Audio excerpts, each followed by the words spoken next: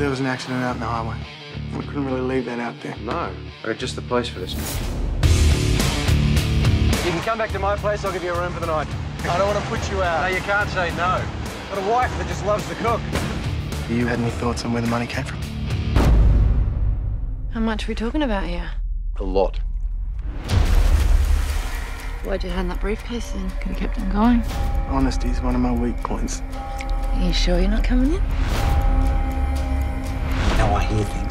And what kind of things do you hear? Just things. You've tried to run away knowing there's nowhere you can hide? Guess I'm about to find out.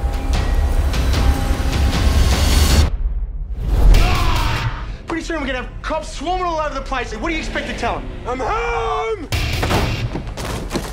Ah! Where is she? What happened to the